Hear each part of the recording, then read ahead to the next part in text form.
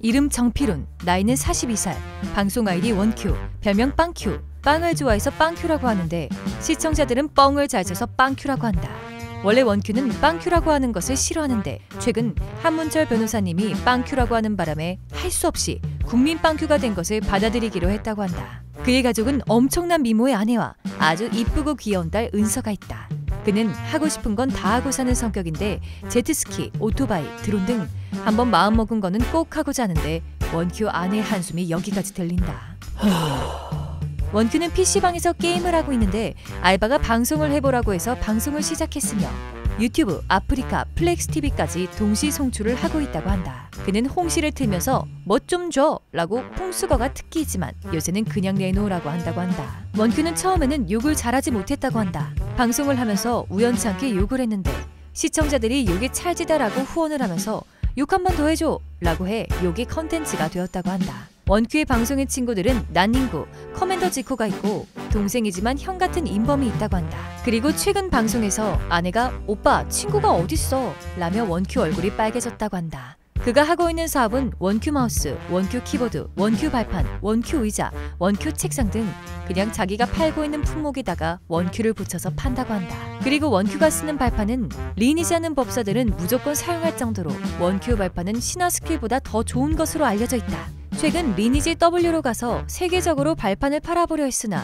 지금은 상황이 좋지 않다고 한다. 원큐는 수십 년간 리니지를 해왔으며 리니지의 화석이라고 불린다고 한다. 전섭 1위를 수년간 해왔지만 게임사인 NC랑 사이가 별로 안 좋다고 한다. 그 증거로 NC 유튜브에 보면 리니지 역대 지존들의 명예의 전당이라는 영상이 있는데 거기서 수년간 1등을 한 원큐를 그냥 빼버렸다고 한다. 거기에는 원큐의 안티들도 이거는 아니다. 원큐 뺀 거는 너무했다 정말. 마이티까지 선물해놓고 빼버리네. 라며 엄청난 댓글을 달렸고 싫어요가 383개나 찍혔다고 한다.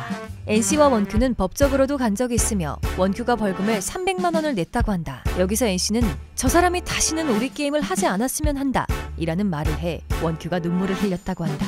그 사건 이후로 게임에서 정지를 수십일 당했고 그 사이 경험치 이벤트가 나와버려 1등을 뺏겨버렸다고 한다. 원큐는 23년간 NC를 욕하다가 최근 숙제를 받아보겠다며 옹호했다가 온갖 욕설을 듣고 방향을 다시 틀었다고 한다.